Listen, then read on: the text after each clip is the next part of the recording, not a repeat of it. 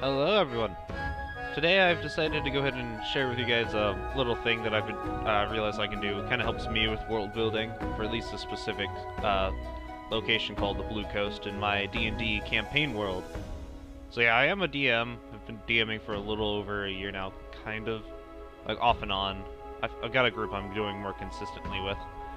But basically, I'm using this game. Now, if any of you recogni recognizes this right now, you are a Chad because uh, this game is great. It's pretty awesome.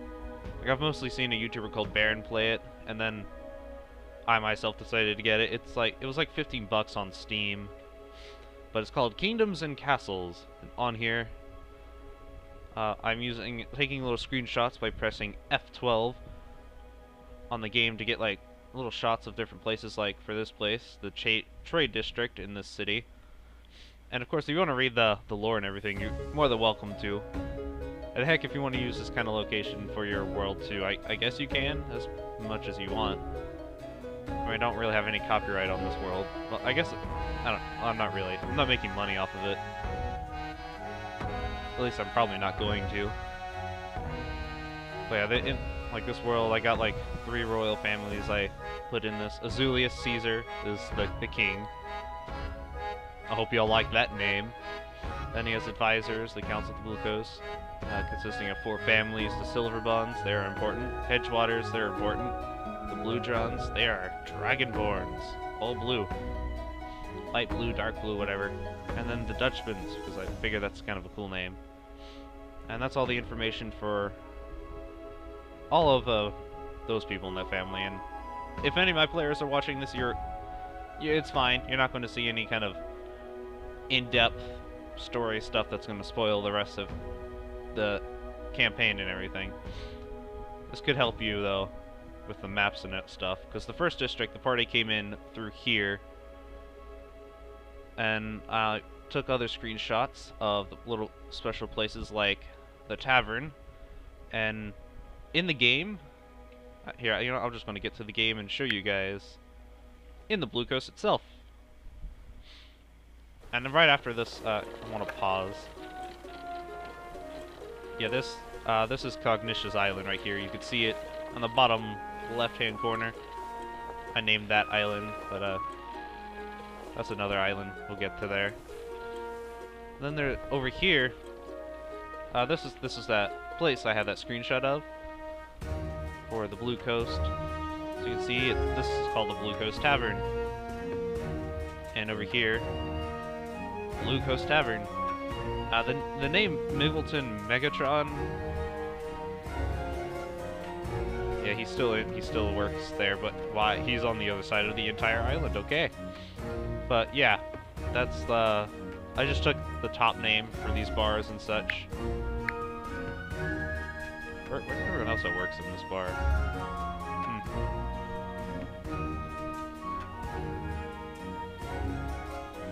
There's like two of them. Oh, and then this one, chilling at the market. But yeah, I, I took like the top name. They randomly generate names, so for designing your world, it, it kind of comes up with names for characters for you. And I mean, the voices and everything, personality can just kind of come up with that. Like, since he's right there, right where most adventurers come in from around the world, I just say since he is a 64-year-old man. He's an old man with many years of experience running a bar. Just, just simple information that I would need to know to roleplay scenarios in that bar. The next location is Blue Coast Church and Library, and just, just basic services that could be expanded upon more later, but there is, I mean, there's this place for all the holy people. In fact, one of my players is playing a dwarf paladin of a small god of vengeance called Hor, which we make lots of innuendo jokes about all the time. We are we're a D&D group after all. It's that's what we do. And uh, this place, which is known as the Blue Coast College of the Gods. I put a little G because I'm a Christian man. Only the big G gets the gets the capital G. But yeah, and then they have a little Pantheon library, library with information on all the gods and such, which I actually have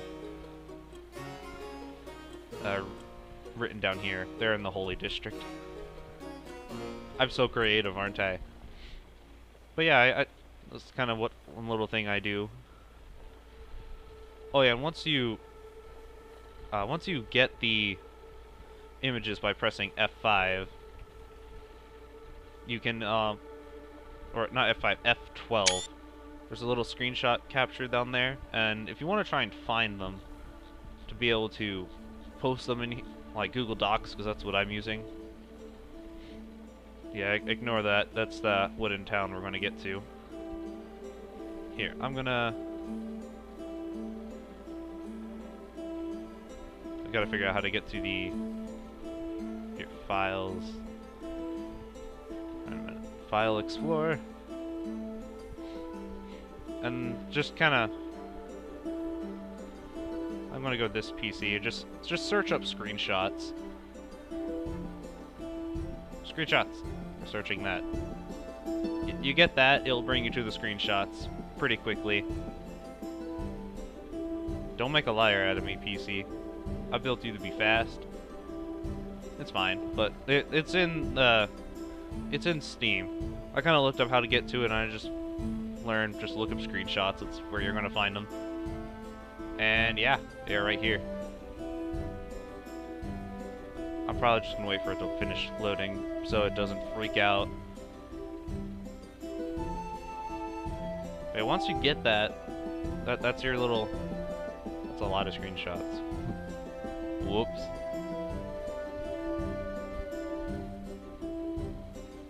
Do do do.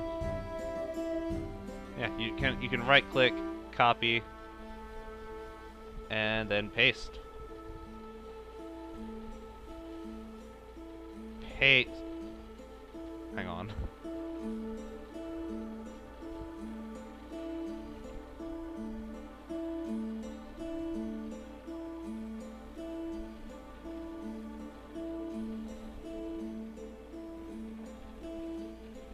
Oh, wait. Drag it in. That's... Duh. okay, that's right. I goofed a little bit. I'm blonde, for those of you who don't know. For those of you who take offense, le learn to take a joke. But yeah, and then you can just resize it, make it smaller. It's like a minor place, which that isn't. Of course, I already... I don't need that anymore. But yeah, that, that's a little thing that I've uh, just recently started doing. And like the, these little uh, cottages, the homes and stuff, whatever, those are just filling up space where people live in whatever town you've got. This is like the capital. What world happened to the flag? Why is it white on there?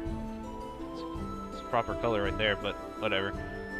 It, it, I find this game to be very easy for building places and such. I mean, look, I even have a forge run by...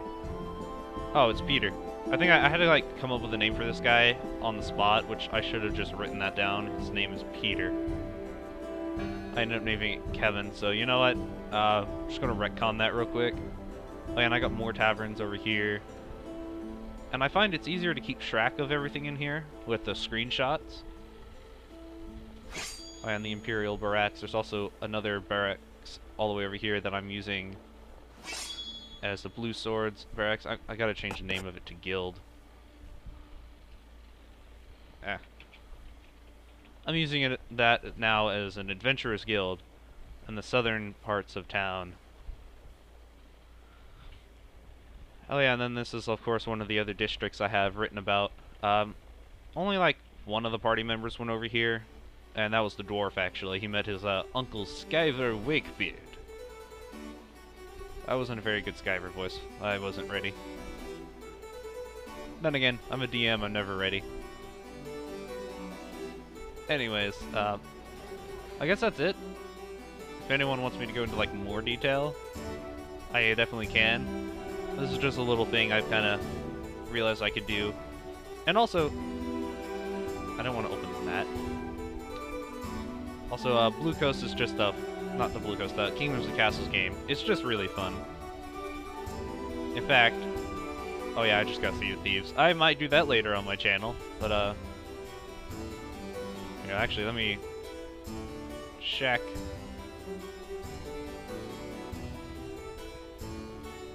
How much do you cost kingdoms and castles? Tell me. You know, I'm just gonna... I'm gonna go look it up just so you guys can see how much it costs.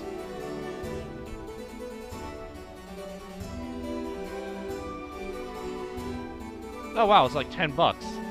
Alright now, that's actually cheaper than when I bought it. It was 15 when I got it.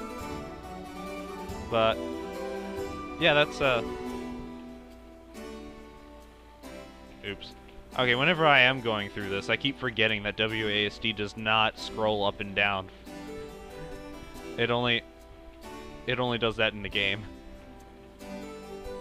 But yeah, this is a pretty fun game. If anyone wants me to play this game on the channel, I definitely will but also there is one uh, YouTuber, Baron Von Games, I believe he is the one who already played through this game, so check that out if you want. Oh yeah, and also for the customization that you can have, the, the one thing I will mention that I really li like about this game for building uh, towns and cities is, I mean, you can have a little bit of customization for the land, but it's pretty much randomly generated. In fact, you know what? Uh, let's go ahead and You just quit. And I want to make sure, okay, yeah, it's fine. Uh, let's do a new one. Standard mode, no, I'm not going to do standard mode, I'm just going to do creative mode, which is just sandbox. And as you can see, like, I mean, the, the land that was on it, on menu is showing. And that is low-key uh, floppy swastika, so I'm gonna switch that up real quick. I'm not I'm not blonde enough to want that. Oh, yeah, and the size, large or random. I like large. But uh, oh yeah, and then type could be land, island, or random. I mean, just just land would just be a. Oh yeah, and then use this to change it Hang on. Okay, this almost looked like that floppy swastika thing again. This game isn't evil, guys, trust me. I, I know. But, yeah, I mean, that's gonna keep changing the land so you find something you really like, or figure out how to, I guess, write whatever you want.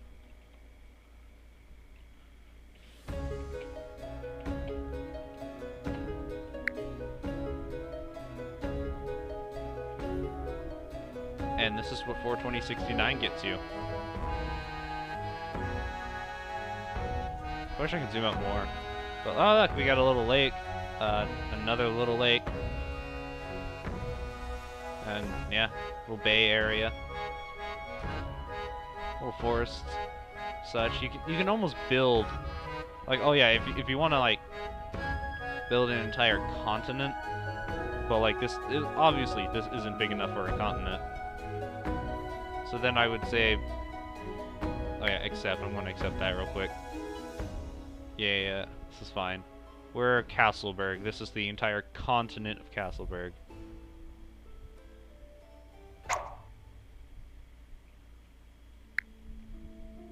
You can kind of choose where, like, I my recommendation for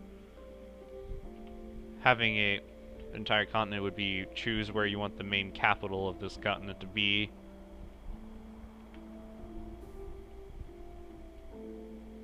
I say let's put it over here.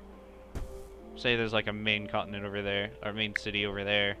You can use these little things as towns. Oh, right. Have to build the roads.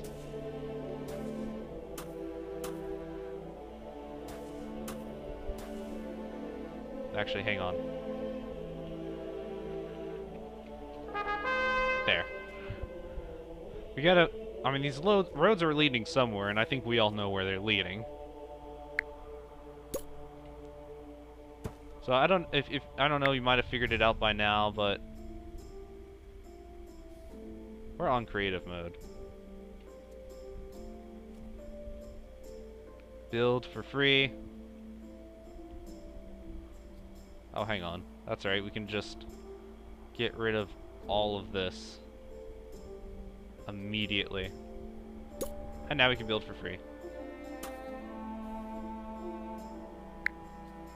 Kind of just figure out where maybe you want random towns to be, or even like maybe figure out what kind of building you might want to use as like maybe this could be like representation of a port town in like the bay of a continent. Maybe has like little fish fishing towns and villages surrounded around it.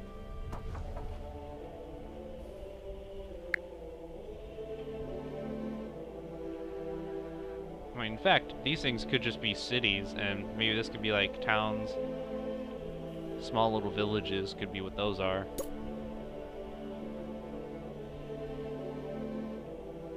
Maybe this could be like a town that's on the way.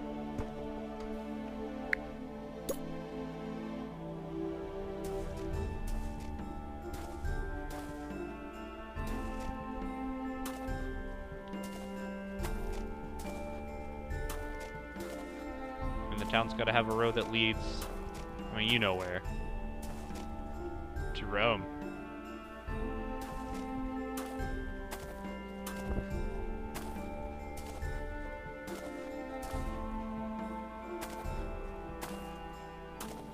And then, of course,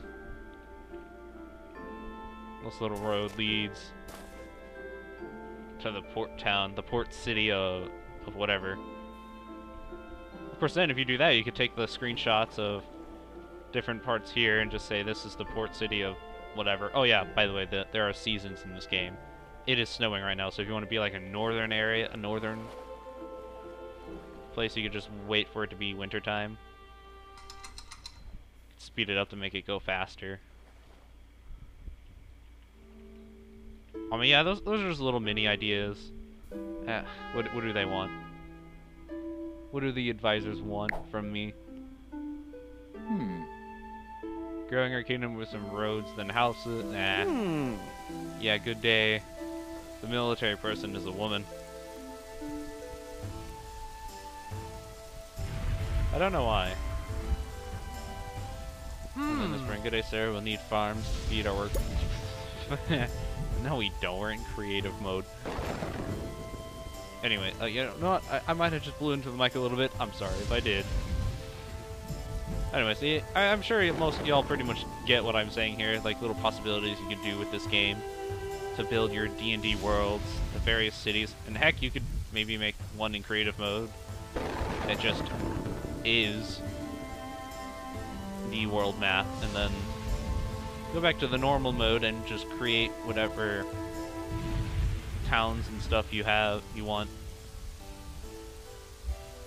Just like all the towns, various villages, and the main city, of course. Wherever your party's going to be, you can build those in Kingdoms and Castles uh, the normal way. And the one thing that I really like about it, especially with some new additions they had to it somewhat recently, I don't know how recent it is because it's been a while since I've been on, but they have fish now, and like people can go fishing. They have like little fishing huts, like what I have in the Blue Coast. We don't need to save that game. Get, go away, Rome. Your time is over. But yeah, also it has a really relaxing song, re- really relaxing music, weather effects and all that. It's just, it's overall a pretty, it's a fun game. So maybe you don't want to do it to build your D&D worlds, it's fine. You can do it just to pass the time. But I started doing it, and when I created Blue Coast, I was like, ah, I really love this city, this little setting here. I just, I wanna, I'm, then I started imagining my D&D players not the ones I have right now, but like like a couple years ago, I just started imagining using this as a D&D world, and I was like, I have to do it. So I did. Um, that's all for today. If you like this, if you want to see more content like this, or if you want to see like actual other gaming content, I am doing some of that on my channel right now with a game called Children of Morta, which is it's actually it's pretty epic. Really fun game so far, very story driven, and every time you die in one of the dungeons, it drives the story forward even more by giving you some info on what's going on at the house for the family, which is good for me because we're getting lots of story really quick. because uh, I'm kind of I'm, I'm not the most skilled gamer in the world. I mean, I'm much better at games like this, where it's just relaxing. Occasionally, Vikings and or a dragon might attack. By the way, that happens. It'll force you to build defenses and stuff, which I like. Oh yeah, that's right. I, I forgot. To, I was about to mention that one thing I like about this game is that in playing the normal way with not in creative mode, it will force you to build a city that makes sense. In which, like, you'll have it set up in a way where it functions almost like an actual city would or could, and you'll have pretty much all the info you would really need to tell your players how it works. So if you have any players that want to get like into the nitty gritty exactly how everything works, uh, you have a, you have some base info. Of course, you got players like that. You might want to tell them to chill. So I kind of like this little bit of land here. Hang on. Like I like how it has this little island here and this coming from from the ocean. That's a lot of fish over here. Wow. But yeah, you know, that's going to be all for today. It's just so much water right here. But yeah, okay. So sorry, sorry, I'm dragging on now. That that's going to be it for today, guys. So until next time, when either I'm probably playing Children of Morta again, I'm going to try and get through that and then maybe move on to a different game. I was thinking of buying the Jump Force game, but there's so many bad things said about it, and like, cost money now. But I remember having fun playing with friends. I don't know. Uh, I'll figure something out. I'm probably going to do... Like, I have a lot of other games I could play right now anyway, so I'm just going to do that instead, most likely. After Children of Morta. Alright, well, that'll be all. Until next time. Wrong, wrong button. This ends the recording.